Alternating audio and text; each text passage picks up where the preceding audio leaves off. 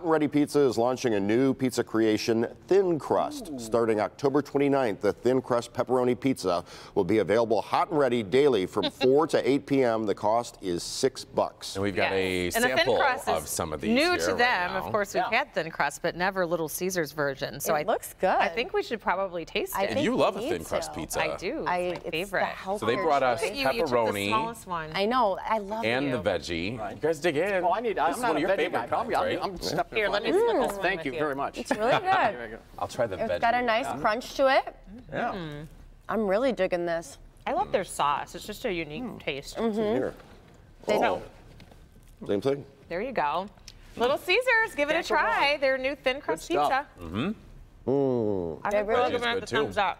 For They breakfast. captured like the taste of like the normal pizza, but it's thin crust. Less calories. Somebody stop calories. close the show. Which doesn't mean eat more. Have a great day, everybody. Have a good day, great. everybody.